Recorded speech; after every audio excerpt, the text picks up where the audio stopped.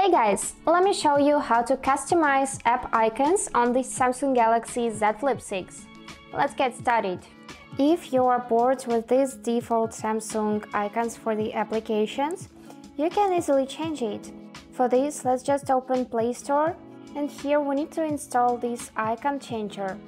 After this, we just need to open it and choose any application we want to customize. For example, Google Chrome. Tap it and now you can change this icon with your own photo by tapping on the image or you can use the editor. So just select any icon from the list or just stick with this one. And here you can change its size. You can change the background. And also you can remove the blue ones. And you can only leave this blue dot.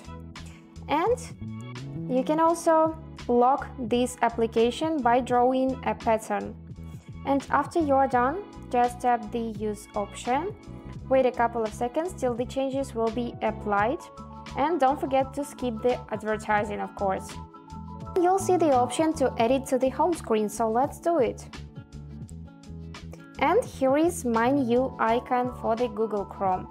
You can do just the same for each of the applications. Just choose from the list and then play with the settings. And that's it. Hope this video was useful for you and thank you so much for watching.